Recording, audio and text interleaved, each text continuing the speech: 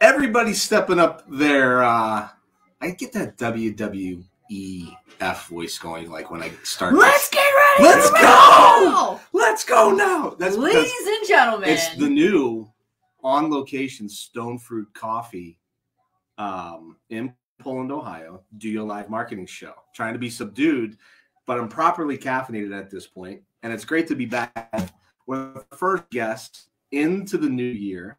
An amazing opportunity to sit down with my good friends at iSynergy.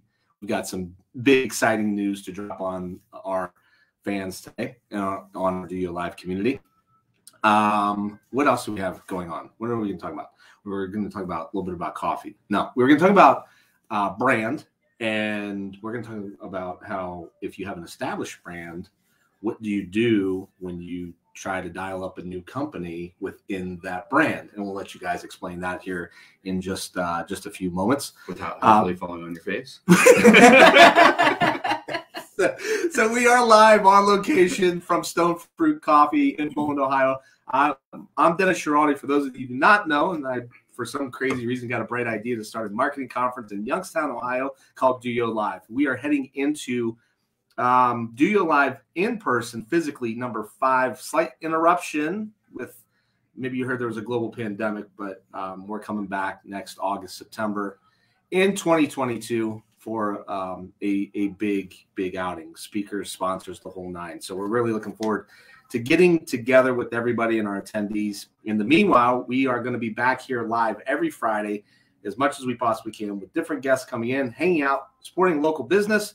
And we're going to talk marketing. We're going to talk current events. We're going to talk all kinds of fun stuff. I've got some really great guests coming up next week. Diana Kaufman is from Poland, Ohio. Originally, she's an entrepreneur living in Pittsburgh. Uh, so she's coming back. And then after the week after that, I don't know if you guys know Mr. Jiu Jitsu. Do you know Mr. Jiu Jitsu? If you don't know Mr. Jiu Jitsu, you need to go to Facebook today and look him up. Uh, Mike, um, uh, I'm not going to let it too much out of the bag, but he's amazing on Facebook. That's all I'm going to say. Mr. Like, Jiu Jitsu. Mr. Jiu Jitsu. And I'm going to stop there. So, anyway, this is your show, not Mr. Jiu Jitsu's. Jiu Jitsu. Say that fast three times. Holy crap.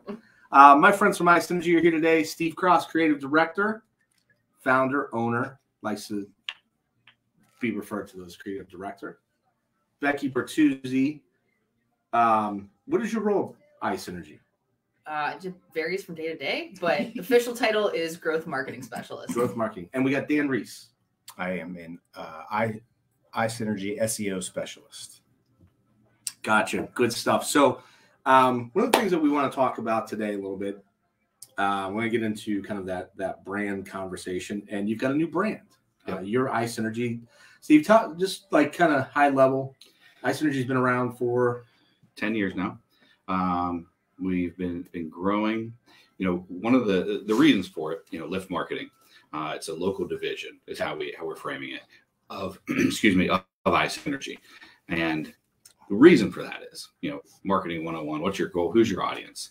Um, as we've grown, you know, we grew from just me by myself, and my audience and my customer persona and who I was targeting was anybody Cleveland Pittsburgh regionally that had a, a digital marketing need SEO, paid, programmatic, website development, design, you name it, social media, inbound. Um, so, but as you grow, you know, hopefully, you know, your growth, um, your audience evolves with you. And that's drastically changed the last couple of years, especially with the pandemic that you talked about. Um, everybody's traditional budgets, and you know, conferences are getting canceled left and right. People, there's those traditional budgets are going digital, and they're like, I have this extra 50 grand we used to sponsor this show for. I used to send five to 10 people to this conference. What do we do with these budget now? sure. Everything went digital. Yeah. As long as they were a progressive company and wanted to keep growing and, and sustain their growth and, and not shrink and, you know, just And reach it. people. Yeah. Yeah. So what that did is that put us, you know, we were gradually getting there. iSynergy was um, over the last couple of years, but uh, what that did is it basically a hockey sticked us on a national, international scale. Uh, we have, you know, we have about 200 clients between Cleveland and Pittsburgh. Yeah. Uh, but we also have clients in Florida, Kansas, Missouri, New York, up and down the East Coast, Switzerland, London, South Africa, Saudi Arabia, you name it. Wow. We're global, you know. So It's amazing. yeah, yeah, it's kind of It, it's it is. It's hard to believe a lot of times, but you know we just stayed the course and, and we've just grown. Um, now, as we've done that, it's how do we talk to, and this is something uh, probably everybody in the audience has has an issue with, and you probably talk to clients and, and, and people that you consult with. Who's your audience? Talk to your audience specifically. Don't just say your message out there. You have personas, you have your different audience segments, your cohorts.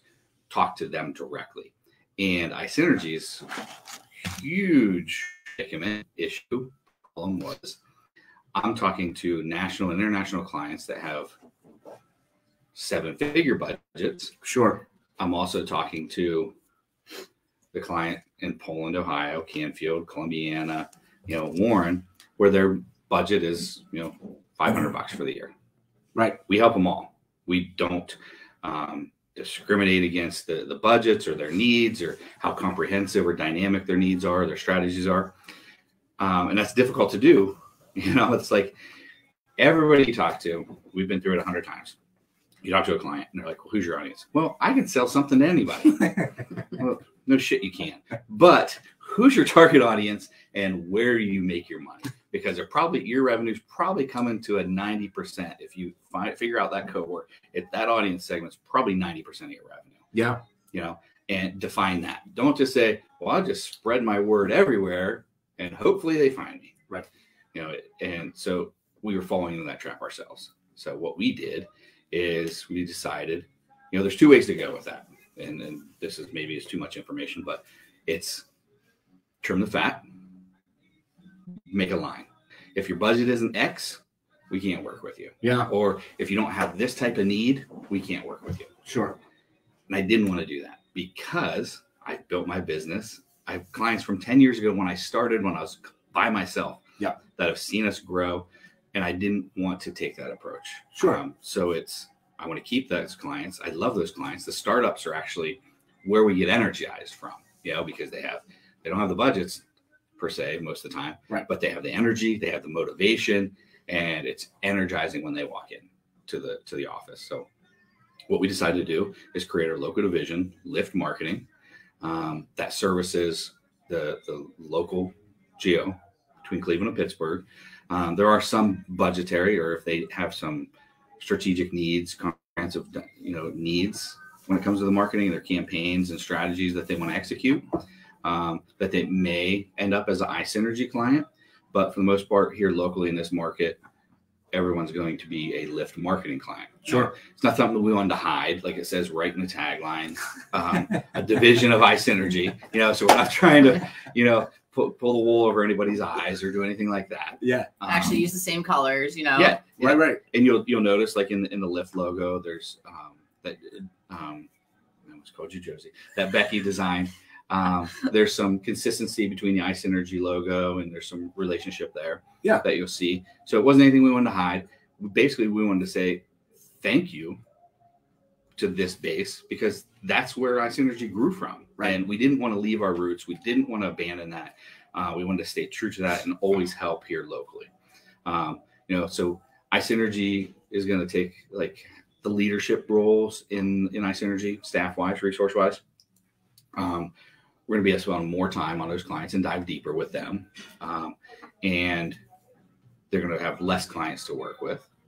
But lift marketing, you know, we're going to keep those clients and we're just keep churning out for the for the local people here. I think that's great, and I, I got I've got like a ton of follow up questions on that. Um, It's the most I've ever talked to the entire time I've been on this podcast. Yeah, I'm actually pretty Jeez, shocked. oh, I was gonna You put know a what? timer on it because I thought it was gonna be five words and we're done. we could just go home. yeah, we're done. Yeah. I'll see you guys Well, later. actually, we could rebrand this as the Steve Show. yeah. Yeah. we're done. Dennis was getting antsy because he was trying to.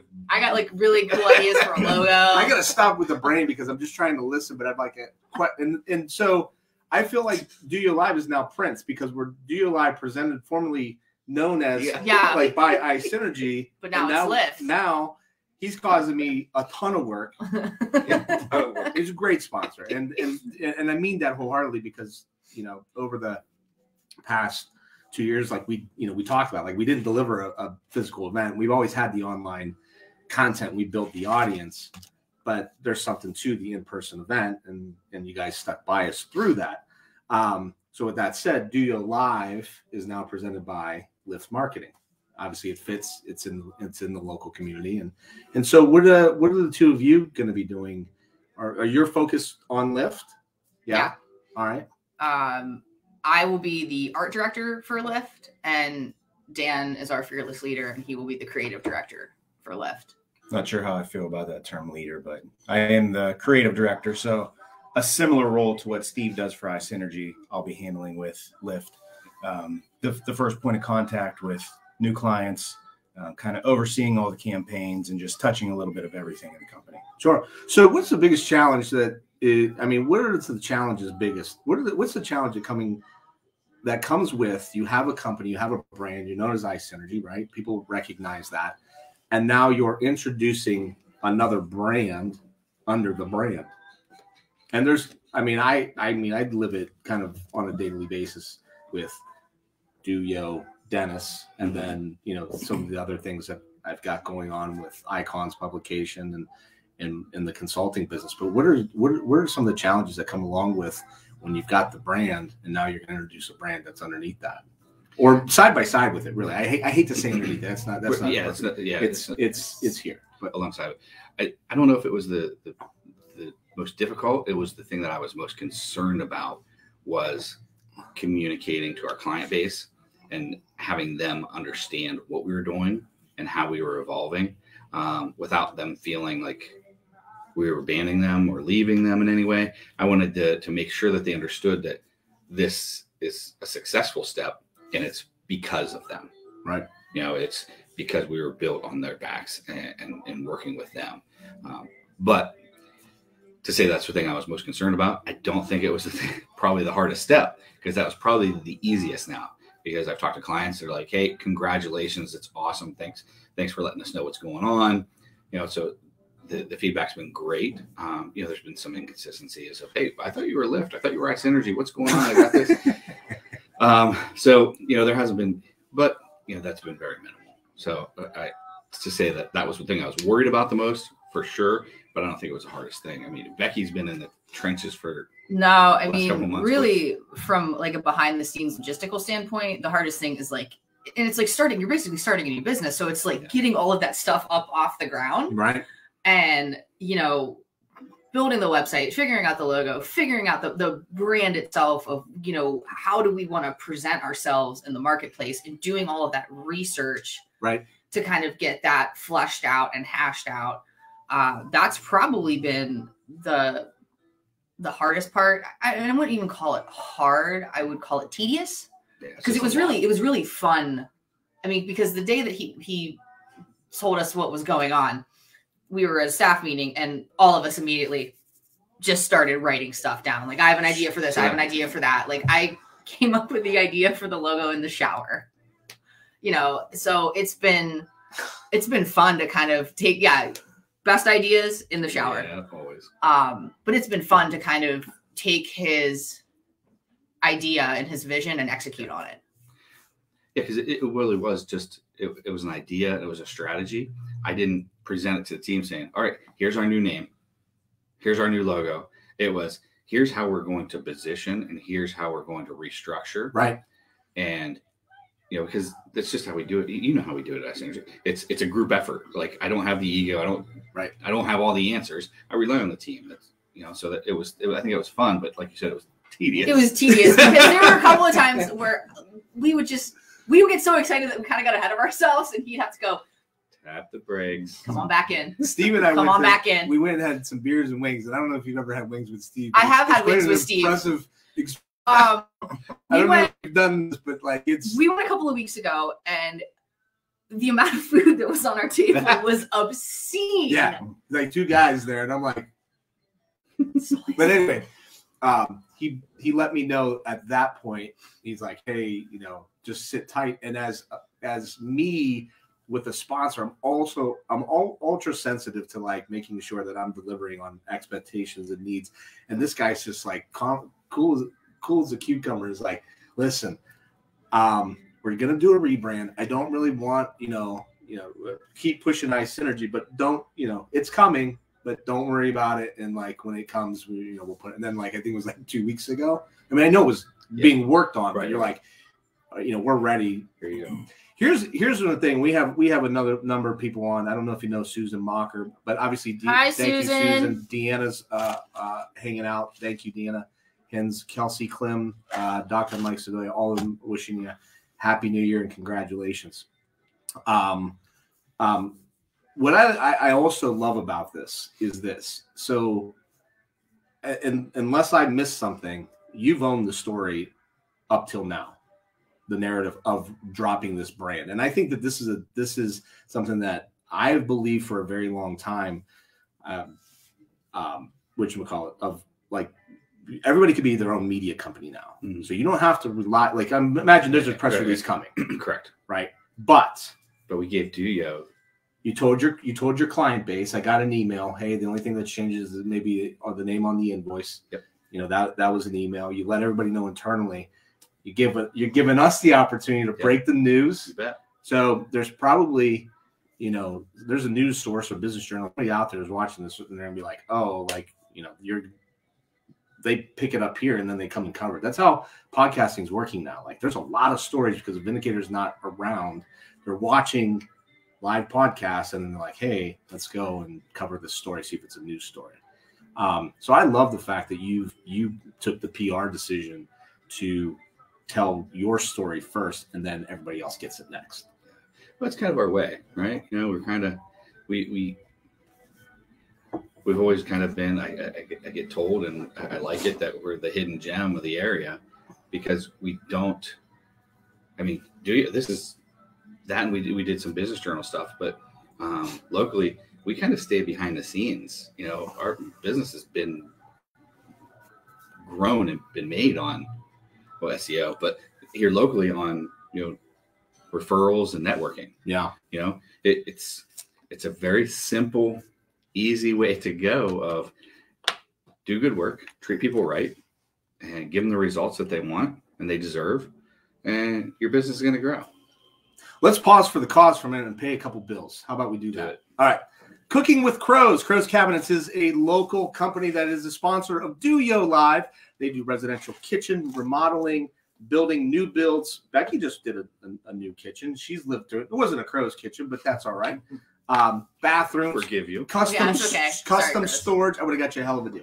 Custom storage, um, man cave, she sheds, you name it. Crows got you covered. So in this segment of cooking with crows, I we need to know from each one of you either either what your favorite meal is to cook or to eat in your own home kitchen. And I'll go first since I put you on the spot. If it's a Friday night, usually I'm cracking a bottle of wine, got a cast iron skillet. There's a nice meaty steak going in a reverse sear coming out, um, and then also a nice big salad and some garlic bread. Um, that's one of my favorite meals on a Friday night. Cooking with crows You get to stay home on a Friday night. all the time. So the days are numbered, though, my this friend. this might be weird, but I actually don't do a lot of the cooking at home. My boyfriend does because he's way better at, at it than I am, and Get he enjoys it. so I would say probably one of the meals that I enjoy him to cook for me. I'm cleanup crew, by the way. Um, it's probably steak. He does it on a charcoal grill, and There he'll go. put like applewood or something to, to smoke it a little bit. That some potatoes, a salad, Love it. beer, good to go. Yep. Dan, I hate to be redundant, but a big fat rib steak on the grill, that's my specialty. There we go. Yeah, some probably some Brussels sprouts. Ooh, there you go. Mine's mine's a Sunday night. It's it's my wife and I's. It's, it was our tradition. Although we're you know we got away from it a little bit, but Sunday nights, wine, pasta. What's in the fridge? What can we make up? Make a dish in it, and it's just like uh, you know whatever that show is on on the cooking channel where you just get some ingredients and you make yeah you just make it work. And you know you have a couple drinks while you're cooking. You keep eating while you're cooking, and that's our Sunday evening type of a thing. As that I enjoy the most. Love it. Absolutely love I it. also love making breakfast. Do you? love making Oh, a- a, good big breakfast on like a, Oh yeah. a Saturday morning, you know, and waffles. I think kids remember that, like, like, you know, dad uh, That's cooking. a mom memory I have growing up is Yeah. Sunday morning. My dad would always make us breakfast. Yeah. Bacon. Yeah. And it's just bacon. Yeah, Just bacon. You have bacon. a bacon breakfast. With a and like side life is life is good. Um, let's jump into I, I don't want to say that this is a, a controversial topic, but um, because the internet always wins. But um, conversation about can you be a have a Youngstown in your name or in your brand in your business, I- I- and and and and be not in the city limits. By the way, Because, and here's the reason why I asked this because you have 200 clients. Let's not forget yeah. iSynergy. We're here live at Stone Fruit Coffee in Poland, Ohio. Um, can you, you know, you have 200 clients. Some of those probably have a Youngstown in their name in some capacity. What advice do you give to them when, you know, they have a brand and they're in the region and they're re- referencing the region? And how, how does that? What? How, how do you how do you view that? Do you like? I mean, I'll tell you what I my my opinion is is very bluntly because I have like three brands that are tied to the Youngstown name. I feel that Youngstown represents the region. I would agree with that. And first of all, Warren doesn't have this problem because nobody gets salty What? if a Howland business uses Warren in their name. I understand it as it's a region. Okay. So leverage it. People don't know, people might not as be might not be as familiar with Canfield or Poland or Struthers, but you say Youngstown, that gives them a general idea. And it's the way that I look at it is the same way of Cleveland suburbs using the word Cleveland, but their their mailing address might be Willoughby or Lakewood. Okay, so so the follow up question then to this is to to do your Cleveland and Pittsburgh, and you have clients in Florida. Do those clients in those cities um, reference or recognize Cleveland or Miami or wherever the client is in Florida, or do they recognize Rocky River?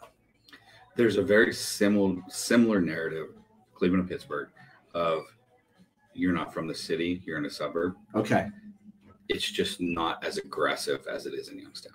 That's because of the fishbowl that we live in. Yeah. it's Um, small. and aggressive might not be the word. Same. I mean, you could also say that uh, pride. You know, because somebody that was born and raised downtown Youngstown within the city limits and still lives there.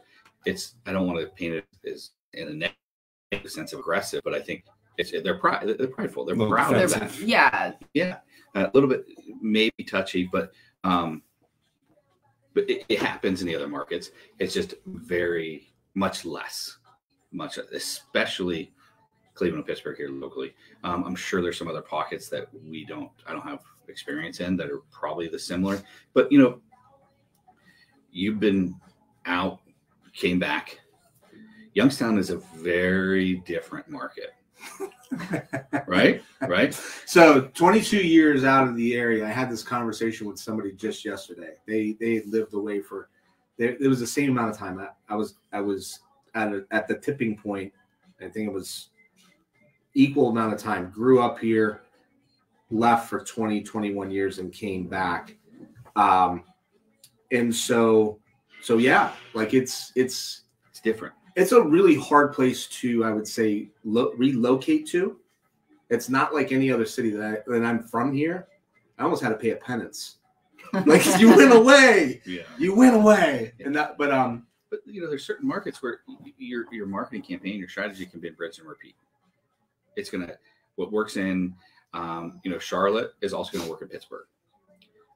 None of that is going to work in Youngstown, and we get you know we do a lot of of collaboration work with um, larger agencies that are outside the area that have clients that you know their their marketing initiative and strategies for Youngstown area, and they always get told, and we get a call, and they're like, hey um, I was told to reach out to you because Youngstown's different than any market we've ever been in. And I'm like, yeah, basically, here's what you need to know.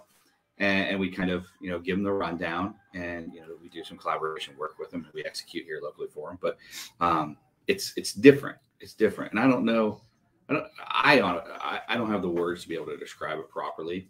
Um, I don't think it's different in a bad sense. I don't necessarily even know it's different in a good sense. I think there's probably some pros and cons both ways to it.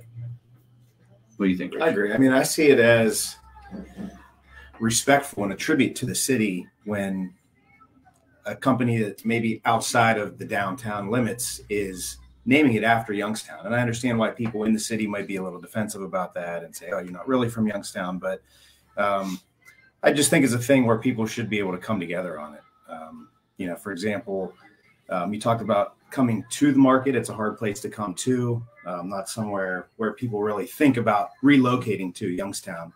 Um, we did a project recently at the Southern Park Mall, and the general manager of the mall is a guy who has been with Washington Prime Group, different markets, moved around quite a bit. And he came to Youngstown and he said, We're renting, we're not buying. He was here for a few months and said, We're buying a house here. He wanted to be here. So I just think, going back to what you said, I think it's a thing where Youngstown has come to describe the area, what people might refer to as the Mahoning Valley, maybe. Um, so I, from my perspective, I I look at it as a positive when more places are using Youngstown as a reference point in the brands. Sure. You know, so it, it makes them accountable of, all right, you want to use Youngstown. How are you helping Youngstown? How are you, how is your company, even if you're not located down here, how are you benefiting Youngstown or how are you benefiting from Youngstown? And it's a two way street. It, want to leverage that name, area, city. You better be on something, put, you know, giving back. I think it's difficult or challenging to know what just how much the give back is, and the assumption is that there's not a give back. I think that there that comes along a little bit with the reference or the utilization of the name, because I, I, I mean, so that I do believe that. I think that it could be a little bit noisier here around the narrative simply because of the fact that in a bigger city, there's just more sheer volume. So like like I go back to like New York City when I lived there, you know, and and we pissed off like I was in healthcare and say I pissed off a neurologist. It wasn't the end of the world because there was like 50 more of them. But you come to Youngstown and you piss off a neurologist, you're like, well, I'm down to two. Yeah. yeah. Good luck. Right. Godspeed. So it's it, so everything's magnified in a smaller market, so you can hear those voices. I think just a little bit louder.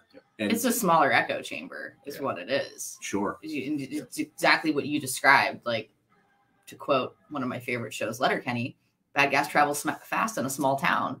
So it's going to amplify a lot more than it would in a larger city. And I think that's where a lot of the not the the problems, but that's what differentiates the market I- is because it's so small and you can I think people can understand that from a business perspective even better, and that's why I think Lift Marketing gives them a, a unique opportunity to do that.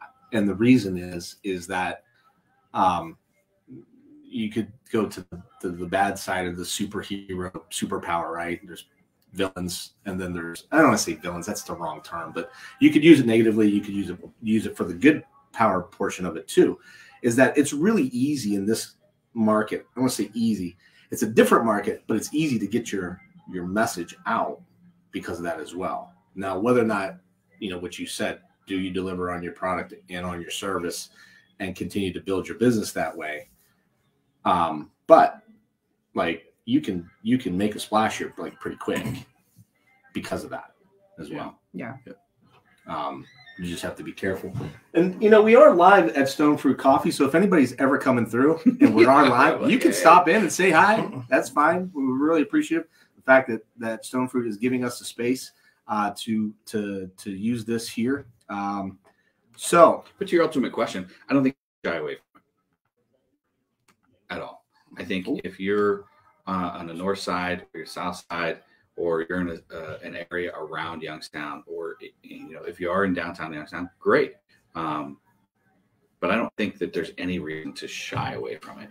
But if, if you are going to do it, make sure you have a plan, make sure you have a strategy, make sure you're laid out, ready to execute, and don't deter from it. we have to Stay change strong. our we have to change our name from Do Yo Do Youngstown to Do Po. because we're in Poland. Uh, that's what you're gonna get. Dooku. yeah. Dupu. That's what you're gonna get. That would be amazing. I had one the other day that was, I forget what they they said. It was a new one. It wasn't the D O Y O. It wasn't Doy Olive. That's been the most recent one because the email is D O Y O L I V E. So they're like, "Are you Doy Doy Olive?" And I was like, "Sure, Doy Olive." That's our new name, Doy Olive. You can make your sponsor check out to that. That's fine. Well, you know what? We've always been committed eh, to to the name, to the reference. Um, I, I taught part time at Youngstown State for a while. Uh, we we've given tickets away to YSU students. We've always held the event um, in in the city, um, and we've given back eh, just as much as we possibly can to to have the the the right, I guess, or the privilege to be able to use that name. And the 21 years that I was away, if anybody ever asked me, I wasn't from like Lowellville, Ohio. I mean, that would get there, but I was from Youngstown. So um, let's jump, let's switch gears into. I was on a podcast recently in the past year, and um, somebody did rapid fire questions. I don't know if you remember rapid fire questions. Do you remember rapid fire questions? Yes. Like, right? Yeah. And then like one of the questions was like, "What's the best pizza in Youngstown?" And they asked me that question, and they've been on the DOYO Live show, and, and so like they were like, "Hey, we're gonna do rapid fire questions." I was like, "This sounds eerily familiar." And then they asked me like question number seven was like, "What's you know what's your favorite pizza in Youngstown?" I go, "That's really familiar." I was like, we used to do that. hey, I'm very flattered. Somebody was listening, thought it was a good idea. Um, we're gonna do overrated, underrated, or properly rated, and you can put some narrative around it as well. So you can say why you think it is. All right, you ready? Do it. Let's go. Donuts. Sorry, that's something you're looking at me like, really? I say underrated. I love donuts. I think uh, I hate cake. I love donuts. White House Fruit Farms. Well, Properly rated. I'm not a big sweet eater, but I will have the occasional donut, and I'll say properly rated. I'm going to say underrated, but I'm going to go with the maple cream stick. Is that technically a donut if it's not round? sure. I call it a donut. Yeah, it's a it's a donut. It's a donut. I think they're a little overrated. That's it. I mean, Done. everybody's allowed their opinion. We're having some stone fruit coffee. Coffee in general. Overrated, underrated, properly rated. Underrated. Underrated. Overrated. I love coffee. Properly rated. I you know what? I, you said you said something before like you're you're getting to the age where coffee kind of affects you. Yeah. I've had my bouts with coffee over the past few years where like it's almost like a martini. Like one martini's good, two martinis okay, three you're on the ground. Coffee, one cup of coffee, great. I'm on fire. Two cups of coffee, I start to get jittery. Three cups of coffee, I get nothing done. So managing the caf- caffeine intake is a really important aspect. I think when I say overrated, I think it's it's less. Um, I enjoy a good cup of coffee, and like Stone Fruit, I definitely think has a place, and and I enjoy it. When I say overrated, like you really need a Dunkin' every three blocks. Do we need to have Apparently. like? I don't go to Starbucks at all. It's like what, fifteen bucks for a cup of coffee? Like It's no, I don't think so. So if I'm gonna spend a decent amount of cup, amount of, of money on a cup of coffee, it better be going towards somebody here locally and not some international chain. That's fair. That's, that's my Yeah. thought. That's Starbucks- I guess like, that's where I come from. Chain chain coffee, overrated. absolute ra- last resort. I live about five minutes from Nova Coffee in downtown Warren. They know me by name there. Like that's I would rather Right. patronize them, Stone Fruit, Branch Street. Like I want to support the local coffee shops around here. So Across the board. It's still underrated. Right? Across the board. Like like local. You want to support local Right. Mm-hmm. businesses. Right. Yeah, not You just know. coffee shops everywhere. Yeah. Like college college football bowl games. We got the national championship coming up on Monday night. It will be an SEC all finals. We had bowl games go for about I don't know, good better part of December into January. Any thoughts? Oh, I go back and forth on that one. I'd say underrated just because so many people now that there's a playoff say the bowl games don't matter. The bowl games matter to a lot of those kids. But now the fact that over the last five to 10 years, you have the elite players, if they're not in the playoffs, they're not going to play in the bowl game because they don't want to hurt their draft stock. Sure. That does hurt the bowl games a little bit. I'm a Pitt graduate. And it killed me to see Kenny Pickett sit out that bowl game because they would have beat Michigan State if he was there. Killed me But- too because I got a Barstool Sports app and I put ten bucks on the Panthers, and then I saw he wasn't playing. My son actually was like, I was like, I could used that intel before the game. not So- Not during Yeah, the game. I think for the most part, they're probably underrated, but some get overrated because of that, because of, you know, the elite players choosing not to play. I think now they're properly rated just because what was it five, ten years ago? Like there was like 60 bowls or something like that. It was just blow, blow, The points blow, blow. bowl and It was just too much. And now I think that it's scaled back. They made playoffs. So I think it's it's nice that um yeah, there aren't too many now. And it's still like it, to be bowl eligible, I don't know if it's still the same now. Five or six games. Six, Yeah, like that's We got DJ Oakley on. He dropped by. Maybe he put something in the comments here. I'm sure that he knows. he knows something about sports. I heard he knows something about. I know a little bit. YSN Live.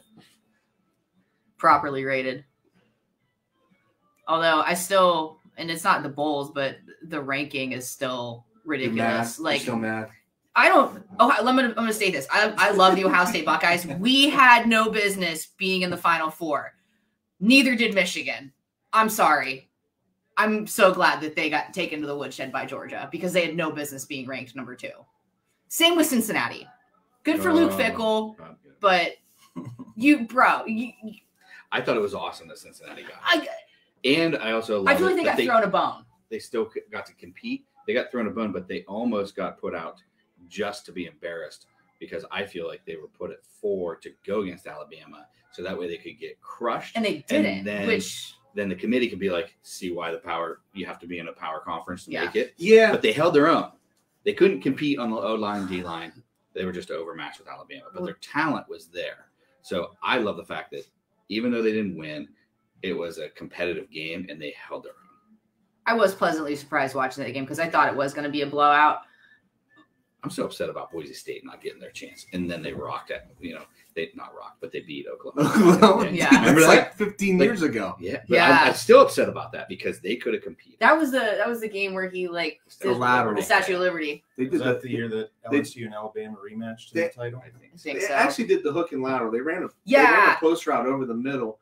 Guy catches it, and the guy's coming this way, and he laterals it this way. Going It was the way. amazing. It was the first time like I. I mean, That was obviously- to tie the game. That was a tie the game. Then in overtime, they ran the, the Statue of Liberty. Um, yeah, that was So sweet. What's his name? Ian something. What was? I thought it was uh, he proposed to Kellen. his girlfriend. Oh, right afterwards, yeah, yeah. cheerleader.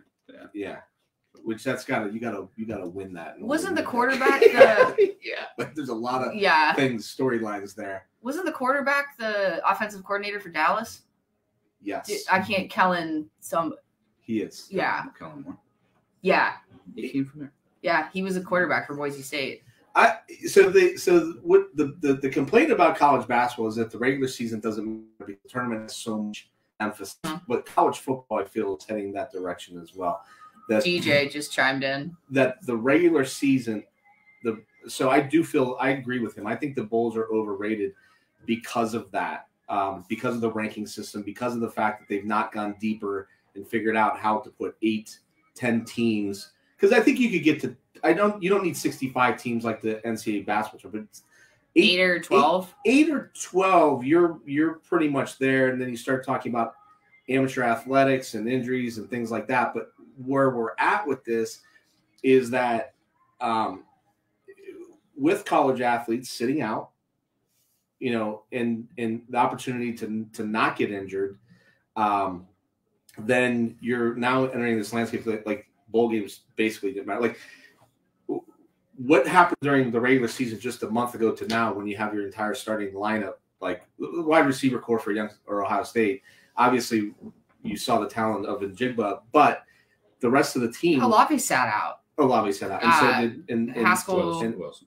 Wilson. Wilson. Yeah. so so yeah and so I think that I think that until they do that now would you ever there's a lot of money there's a, a ton of money in sponsoring it's like really really expensive right would you put a client on his name on a bowl game like the uh, tostitos change that out to like the marketing bowl at I think there's a place for it. Depends. Um, like the barstools the Barstool actually sponsoring a bowl game because they now have sports betting makes complete sense. Yeah, that's a perfect fit. That's a great fit. But yeah, I think it gets back to like where we were, you know, there was is Alamo Bowl still a thing? you know what I mean? Like, um, it, it just I think if it makes sense. NIL, that's the other thing that's a factor as well. That now name, image, and likeness, like athletes can obviously figure out a way to make some money. There's like 45 athletes down at Youngstown State that are all signed to NIL agreements. Like if you go to the website, Uh-huh. you can see them. Most of them is Barstool, but it's also another factor that I think, I don't know, kind of plays into seeing where this all ends up going with amateur athletics. Look, m- most of the, so at four years of college football at a Division One school, there's a ton of privilege that comes along with that. You're treated really well, even even at a mid major, even at a small D1, and it's even trickled down to the D2 level. Now, it is a really nice trip for a kid that doesn't necessarily always get to go everywhere, but over a four year college career, you've you've had a pretty nice go of it. But for the most part, like the game's competitive, but like they're getting to go to San Antonio maybe for the first time. And I know from playing college basketball, like we went out to Colorado for a couple tournaments like over Christmas and we went here and we went there. And it was a great opportunity for me to go out and travel places like I had never been as an opportunity to go do it. Same. You know, like right? I got. I think the first time I was ever out of out of country was in college when we went to the Bahamas for a training trip. There you go. Yeah, I mean, Right. So there's a lot of there's there's a lot of things that come along with that. All right. Last over under un, underrated. I'm sorry. Overrated, underrated. Ready? The term of 2022 in digital marketing. You will not, you will you, if you're not sick of it already, you will be by next week. Metaverse.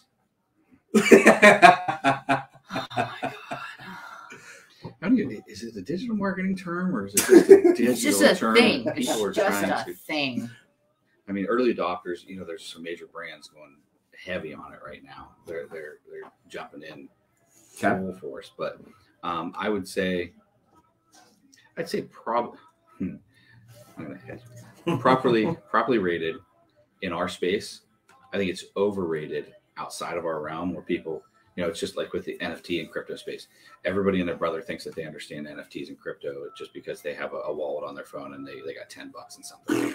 Um, so I would say properly rated for our space, people that are working within, you know, the, the digital space, overrated for the general public.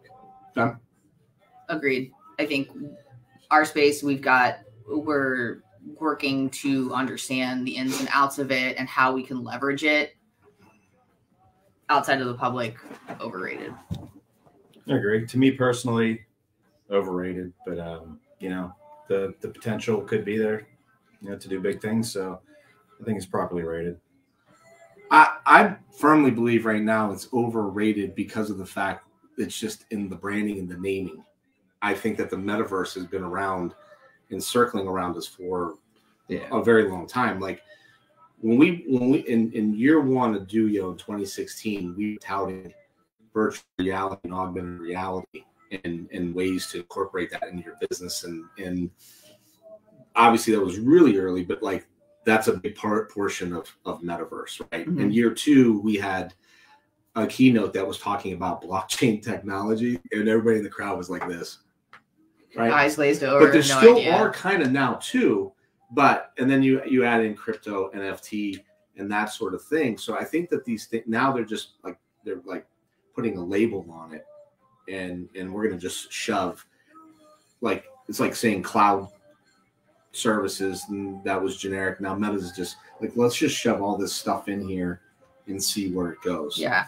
NFTs is a really difficult thing to wrap your mind around, at least my mind. I feel like I would, you're going to laugh about this. So I was looking at places to go on a mushroom retreat, not like going to hunt mushrooms, but to go take mushrooms.